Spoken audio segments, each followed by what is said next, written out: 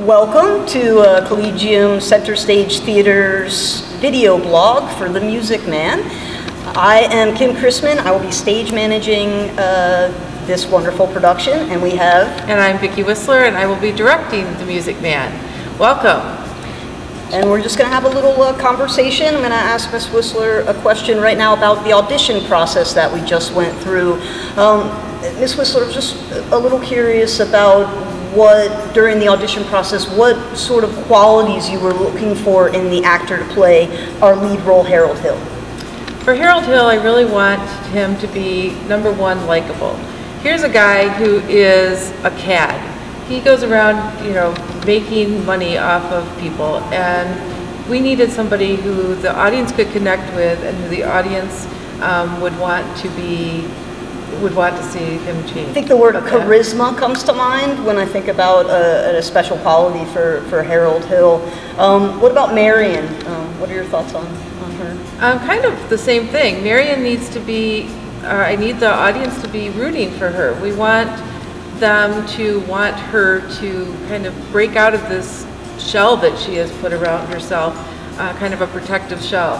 And so we need to see some vulnerability, and um, we're definitely looking for the um, connection between her and Harold.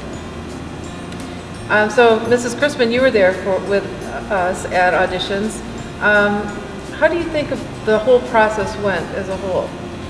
Um, it, I think it went incredibly, incredibly well. We did it a little different this year, um, where we had one day that was focused on vocals, and then we had uh, callbacks where we sort of did everything else. So we, uh, we did some additional vocals where we looked at uh, uh specific songs or pairings of uh, different actors to get chemistry and, and, and, that sort of thing. And then we also had the uh, dance audition that evening, and then we, we did what we call sides, and maybe you can talk a little bit about sides and how we, we use that to, to gauge our, our actors and their acting skills. Yeah, so for sides, we just basically take some parts of the script that show some of the chemistry that we want to see on stage.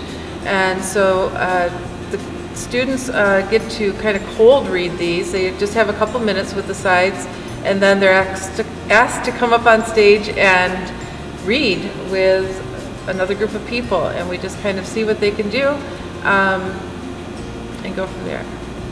Yeah, and I think when we're looking at sides, we're essentially trying to, again, sort of see different pairings and chemistry, especially when we were talking about Harold Hill and Marion. They really need to have that, that chemistry, look good together, and, and whatnot.